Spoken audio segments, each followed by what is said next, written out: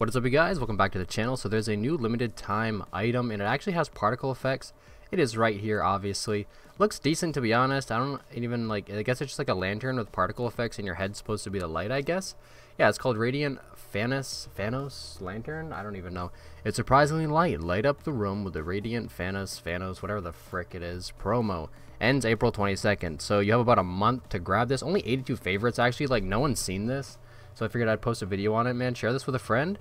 And yeah, I hope you guys enjoyed this little promo. Like I said, it's actually pretty decent. Like the particles actually look cool, and as they go up, they shrink and then fade out. So it's actually a pretty cool thing in my opinion. But I'm gonna put the link in the description for you guys if you guys want to go grab this. And yeah, shout out to Lucas on Twitter for this because I just saw him post this. So yeah, appreciate it, man. And I'll see you guys next video. Peace.